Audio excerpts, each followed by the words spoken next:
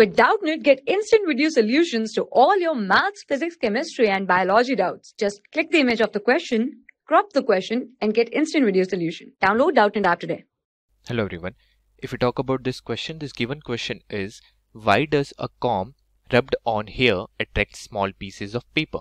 Okay, so what exact exactly happened? Suppose this is you, okay, and these are your dry hairs when you rub a particular comb okay so let's say this is a comb. If you rub this with dry hairs then this particular comb it gains some charge. Okay so let this be positive or negative charge. This gains some charge. Okay and when you take these to close to some pieces of paper then due to induction these bits of paper also have some charges get some charges but but electrically it is neutral okay because it acquires equal amount of negative and equal amount of positive charges.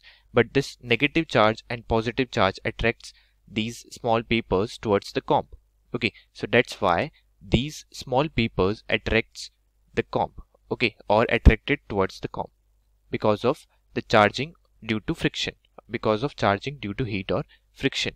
Because you rub when you rub the comb on dry hairs due to some heat this particular comb is charged okay even the uh, hairs are also charged but due to uh, the the conductor nature of human body all the charge goes into earth i hope you understood thank you For class 6 to 12, IIT JEE and NEET level.